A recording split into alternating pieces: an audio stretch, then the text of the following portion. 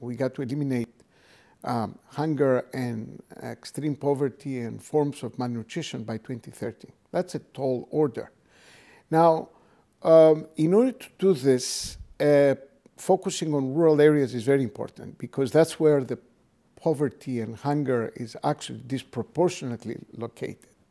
So we need action in the rural areas by all the participants in the rural economy, especially small farmers, smallholders, small enterprises, in order to alleviate poverty and hunger. Women, at this point, we all know that they have insufficient access on the resources and services they need in order to develop their full potential.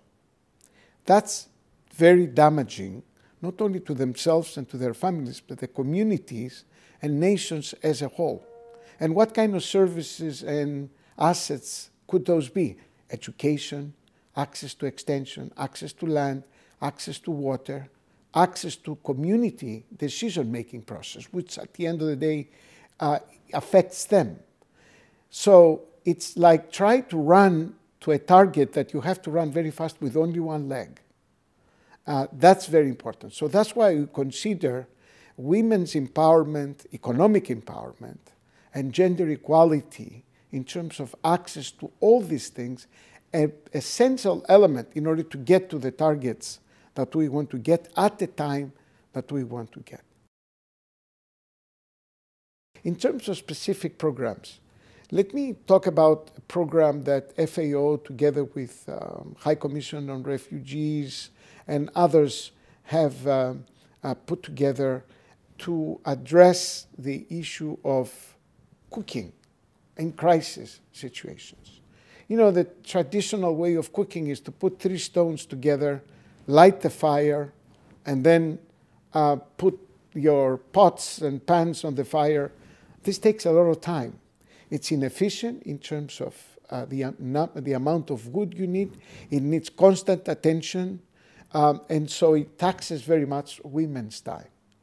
The, the program that, that addressed both environmental issues like the deforestation, uh, women's time issues, quality of cooking, which means nutrition and health of food, uh, and at, attending to your children is this, this very simple stoves that uh, were distributed to women.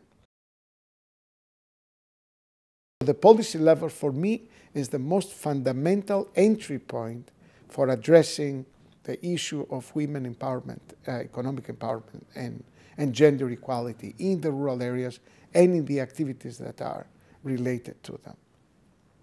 This can go, of course, can generalize this to be policies that affect the whole food system, not just primary agriculture, but processing, transport, etc., retail, etc. See where are the problems that inhibit the role of women and have policies to address them